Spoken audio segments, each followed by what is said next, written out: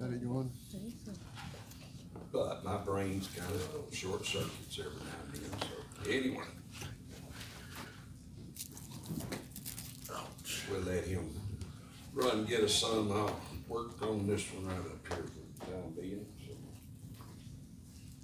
so. How many of you are free today? Live in the free country, live, got freedoms? We're free, aren't we? Amen. So they say.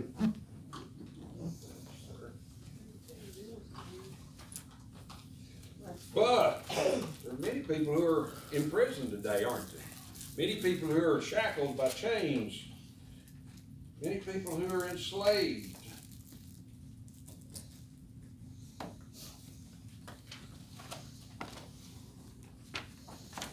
Some of you may have actually spent a little time in the Hooskow, had you?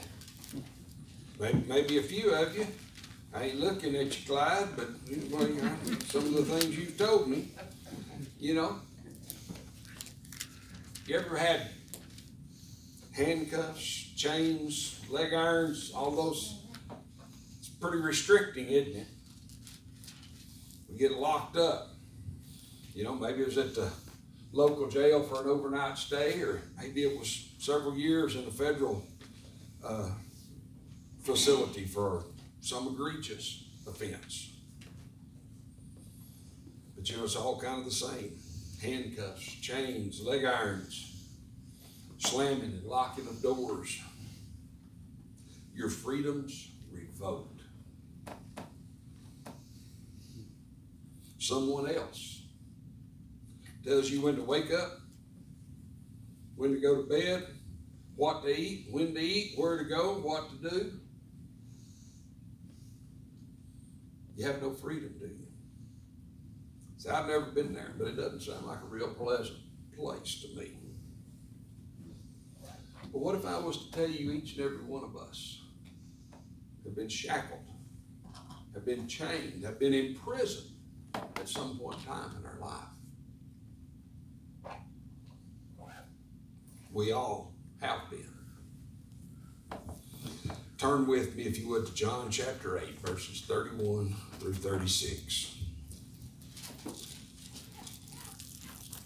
John chapter 8, verses 31 through 36. Most of you bring your Bibles and follow along. Okay, all right. You know, not 31 through 36. So, you know, not bringing your Bible to church is kind of like showing up at a football game without your helmet and shoulder pads. It's going to get painful, so you ain't ready. But anyway, so Jesus was saying to those Jews who had believed him, If you continue in my word, then you are truly disciples of mine, and you will know the truth, and the truth will make you free. They answered him, We are Abraham's descendants and have never yet been enslaved to anyone. How is it that you say you will become free?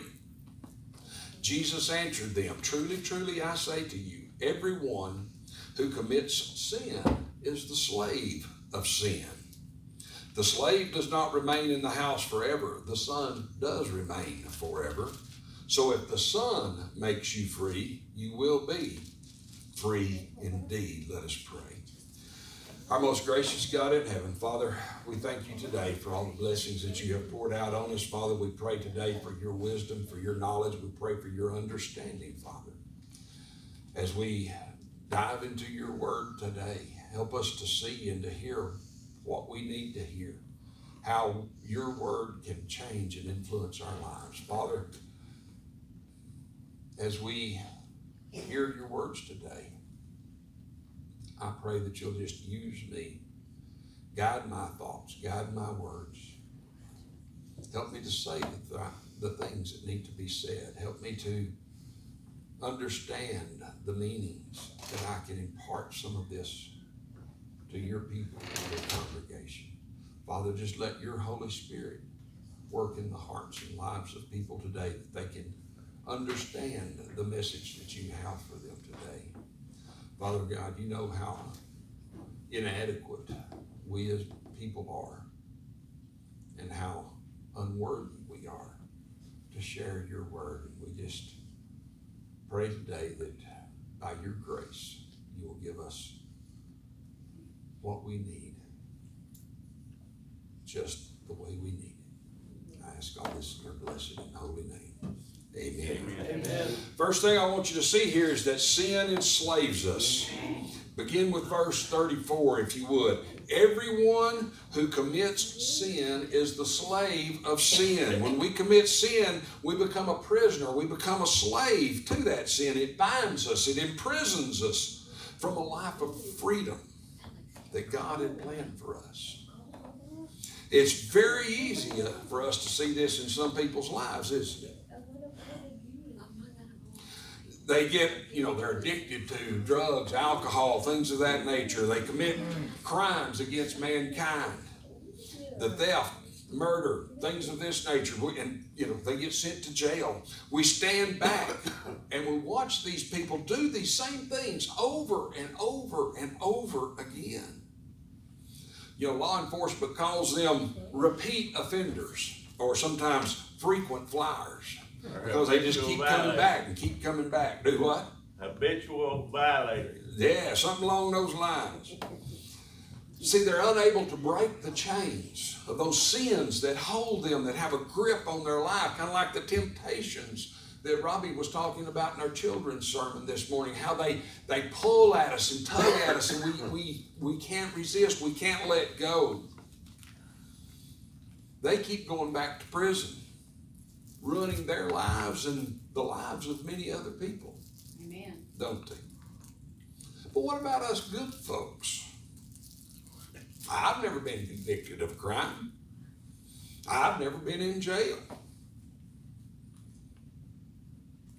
Makes me a pretty good fellow. I don't have to worry about none of this, do I? How have I been imprisoned? See, there's other things that enslave us, that entrap us, that bind us and chain us, aren't there? Amen. I have been guilty of the crime of pride. I got to be smarter than everybody else, better looking than everybody else. There's crimes of jealousy, crimes of greed. Yes. Crimes of working too hard, putting work first. See, whatever it is that motivates you, whatever it is that you are obeying, whatever rules your life, that's what you are imprisoned by. Yes. Romans 6 and 16. Do you not know that when you present yourselves to someone as slaves for obedience, you are slaves of the one whom you obey, either sin resulting in death, or of obedience, resulting in righteousness. We are what we do. We are a slave of whatever we follow. We are a slave of whatever we are doing, whatever leads us, whatever guides us. Look and see what drives and motivates you today. Maybe it's climbing a corporate ladder. Maybe keeping up with the Joneses. Maybe it's getting something for nothing. What is it in your life that you have to do? That you have to do. I got to go do this. I got to go do that. Is it serving God or is it serving yourself? See, if it's serving yourself, it's a sin. If it's everything is about doing what you want, if it's whether it's keeping up with the Joneses, whether it's pleasures, whether it's putting more money in the bank, whatever, whatever it is that's guiding you, whatever it is that's pulling you, that's what you are imprisoned by. Amen. That's what you're a slave to, and it's got you chained and bound, just like those prisoners with the leg irons and the cuffs and the waist chain, and you know, I mean, they they just they can barely move. What, what is it? How do we know that we have committed a sin? See, a criminal, it's pretty easy. They know they've committed a crime because they have transgressed some law or some statute, uh, haven't they? See, it's the law that makes us guilty. The law says, Thou shalt not commit murder, thou shalt not you know, water your yards on Tuesday afternoon. The law says, and you violate that law, and you're guilty of committing that crime. See, the law states what you cannot do. It doesn't tell you what to do, but only what you cannot do, doesn't it? And boy, there are a bunch of laws out there to keep us in line, aren't there? Yes. We got city, we got county, we got state, we got federal, we got international laws. And then on top of all that, we got all of these little alphabet agencies that come up with all of their little rules and regulations and guidelines, and you've got to be obedient to all of those also. And you know, probably sometime in your life you have broken some of those regulations, haven't you? Amen. Sometimes it's out of sheer ignorance. We just don't know what all the laws are. And sometimes we do it willingly and intentionally, don't we? Amen. But see, it's the law that condemns us. It's the law that shows us our crime. It's the law. When that judge stands before you and says, You have violated uh, item paragraph 23, item 16, subsection 16A of the Texas Penal Code of the of criminal justice, then you're guilty of that crime, right? Amen. See, it's the law that shows us our faults. It's the law that shows us our sins. It's the law that imprisons and shackles us. Look at Galatians 3 22 through 24. That's uh, very interesting. It says, But the scripture has shut up or locked up, imprisoned everyone under sin so that the promise by faith in Jesus Christ might be given to those who believe. But before faith came, we were kept in custody under the law, being shut up to the faith which was later to be revealed. Therefore, the law has become our tutor to lead us to Jesus Christ so that we may be justified by faith. See, it's the law of God that shows us our guilt. It's the law that convicts us. And try as we may, we are unable to keep that law all by ourselves. We, we try and we try and we try, but we are unable. You know, the IRS regulations are over 7,000 pages long. How many of you think, and you're absolutely positively certain that you have never in your life violated any one of those 7,000 pages of regulations? Uh huh. And there's a few of you in here that knowingly and intentionally violated a few of those regulations. Yeah. Amen, brother. There's Brother Kenny back there. Where's Zach this morning? I was waiting on him, and I don't know where he's at. He had Okay. his kids last night. See, I don't know if I've ever, I'm pretty sure somewhere along the way, somewhere down the line, I have violated some of the statutes, some of the laws made by man.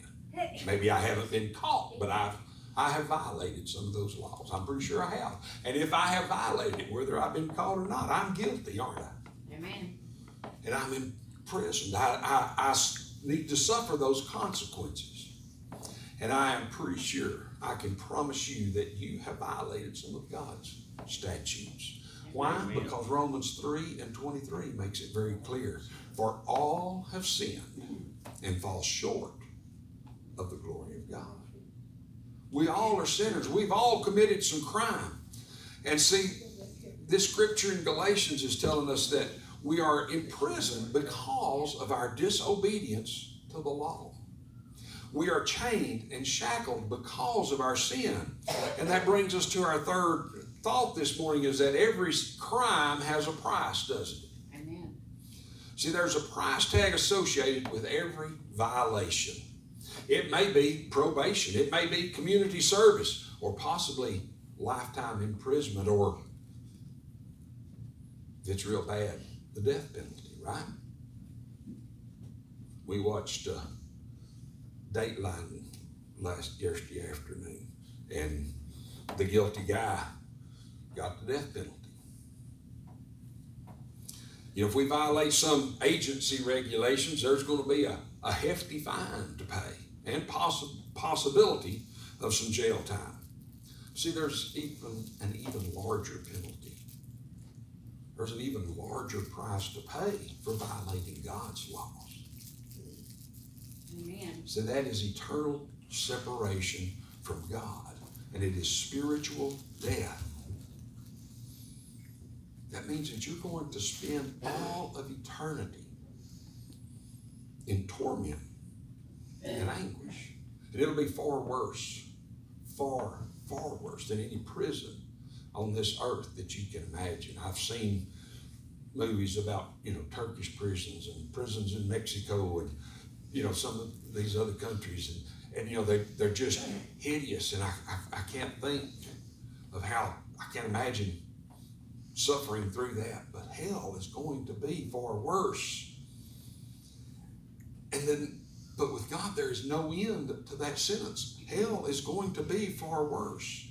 There's no hope for early release or a parole. Mm-hmm. See, Romans 6 and 23 starts out with, For the wages of sin is death. What we have deserved for the crimes that we have committed, what we deserve, what we have earned, is death and eternal separation from God. And we have all broken God's law. We are all guilty. We deserve, we deserve, we have earned lifetime sentence in hell for the crimes that we've committed against God. Amen. And there's no way you and I can pay our way out of that. Some folks can make bail. Some folks can serve their time. Some folks can, can afford to pay the price, but we cannot. In and of ourselves, there's no way we can pay the price required to get us out of that jail. Amen. We're not strong enough to break those chains that bind us, aren't we? We're not rich enough. We're not strong enough. Nope. We are doomed because of the sin in our life. We're shackled and we're in prison. But praise God, there is freedom in Jesus Christ. Amen. See, we can have freedom through Jesus Christ. He came to fulfill that law that you and I were unable to pay. He shed his precious blood to pay the price for us. See, it's only through him that we can be set free. And it is by our faith in him that we are set free. Galatians 5 and 1 says, It was for freedom that Christ set you free. Therefore, keep standing firm and do not be subject again to a yoke of slavery. See, we gain our freedom because of our faith in Jesus Christ. Amen.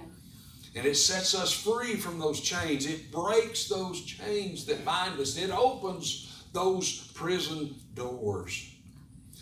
But we must stand firm to keep from falling back into those ways of sinful life. Amen. And we can only do that by following his words. Look back at our scriptures, verses 31 and 32. It says, If you continue in my word, then you are truly disciples of mine, and you will know the truth, and the truth will make you free. See, our lives must be absorbed and directed by His Word. We must remain obedient to Him each and every day of our lives. Amen. And we must do it daily on a daily basis. We've got to put His words into practice. Amen. See, James in 1 and 22 says, But prove yourself doers of the word and not merely hearers who delude themselves. See, you cannot just come in here on a Sunday morning, hear a spectacular message from a fantastic pastor, or you can't hear one from me either. And you can't say, ah, I'm good for the week. Can you? And never think of God again yourself is guiding and directing your life. Now, see, Jesus' words must be a daily basis. They must be absorbed into our life. They must change our life and impact our life. Amen. Are you set, are you chained today to something? Man, there's so many things in this world that chain us and bind us. Maybe it's dealing with family. It may be fear. It may be whatever. These things bind us. These things imprison us. These things keep us from enjoying the freedom that God has set aside for us. See, if you want to be set free from the sins of, in your life today, come to Jesus. Amen. Let Him break your chains. He is the only one capable, He is the only one worthy to break the chain of sin that's on your life. He's the only Amen. one who can unlock and open those prison doors. Yes. He is the only one who can set you free. Yes. Amen. Place your faith in Him. Absorb His Word. See, there's there's no depth of sin that He can't forgive. And He desires to forgive you. He takes you just the way you are. You don't have to get yourself good enough because you can't do it. Amen. He takes you just exactly the way you are. Amen. Dirty, sinful, bound and chained and imprisoned. And He's the one who sets you free and makes you a new creation, turns you into what you could be, and lets you experience the freedom that He has for you. Amen. Do you know His freedom today? Have you experienced His freedom? Or are you still shackled? Are you still chained to the things of this life? Come to Him today. Would you stand with me, please, as we pray? Our most gracious God, Father, thank you for your word today. Thank you for the freedoms that you give us. Thank you for allowing us to be set free from the things that chain us and bind us and imprison us. Thank you for setting us free from the slavery that overwhelms us at times. Father, just help us to turn to you, to let go of the things that are so detrimental to us, and help us look to you and to see you. Father, for someone this morning that needs to experience your freedom, that needs to turn loose of everything in their life and just bring it all to you and give their life to you. Father, give them the boldness this morning to step out and come to you. We ask all this in your blessed name. Amen. If God's speaking, you come. We're going to sing a hymn or two of invitation.